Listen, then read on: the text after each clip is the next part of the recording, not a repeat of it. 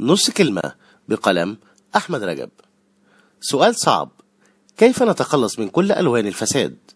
وهناك مثلا فساد بدأ كمجاملات اجتماعية.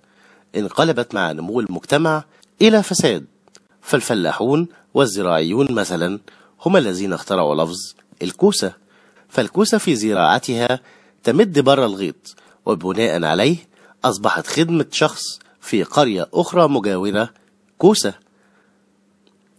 فابن قريتك أولى بالخدمة. كما إن في مقولة النبي وصى على سابع جار جعلت العادات الاجتماعية تفضل الجار على غيره وكل هذا كان مقبولا في مجتمع تحت النمو في رأي علماء الاجتماع في تضخم المجتمعات الآن. أحمد رجب أداء صوتي ياسر حماية.